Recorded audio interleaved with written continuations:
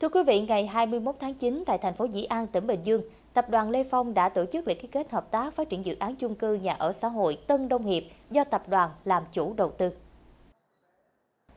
Theo đó, tập đoàn Lê Phong đã ký kết hợp tác với các đối tác như tổng thầu xây dựng là công ty cổ phần xây lắp và vật tư xây dựng CPM,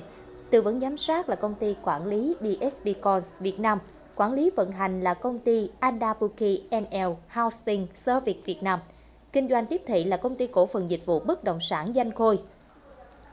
Dự án chung cư nhà ở xã hội Tân Đông Hiệp, phường Tân Đông Hiệp, thành phố Dĩ An có quy mô hơn 10.000 m2, gồm một lốc 30 tầng có tổng diện tích sàn nhà ở gần 61.000 m2 với gần 1.000 căn hộ từ 1 đến 2 phòng ngủ, có tiện ích đa dạng phục vụ tốt nhất đời sống của người lao động thu nhập thấp.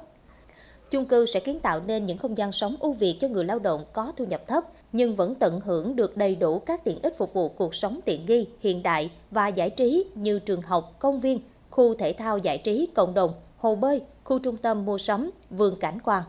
Ngoài ra vị trí xây dựng công trình nằm ở trung tâm thành phố Dĩ An, giáp ranh với thành phố Hồ Chí Minh nên có lượng người lao động rất lớn, thuận tiện di chuyển đến các trung tâm thành phố Thủ Đức, thành phố Thuận An và thành phố Thủ Dầu Một. Dự án có tổng vốn đầu tư khoảng 1.000 tỷ đồng, dự kiến sẽ được hoàn thành và đưa vào sử dụng trong quý 4 năm 2023.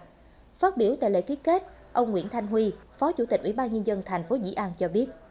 thành phố có diện tích tự nhiên 6.010 ha, dân số hơn 500.000 người, trong đó tạm trú có hơn 300.000 người. Thành phố có 6 khu và một cụm công nghiệp với tổng diện tích khoảng 829 ha, thu hút 245.000 lao động Chính vì vậy, nhu cầu về nhà ở, đặc biệt là nhà ở xã hội tại thành phố là rất lớn. Nhưng hiện khả năng đáp ứng còn hạn chế. Với dự án chung cư nhà ở xã hội Tân Đông Hiệp là kết quả bước đầu của việc thành phố huy động nguồn vốn ngoài ngân sách, vốn xã hội hóa đầu tư xây dựng nhà ở xã hội để người dân có thu nhập thấp có thể tiếp cận với nhà ở trên địa bàn thành phố.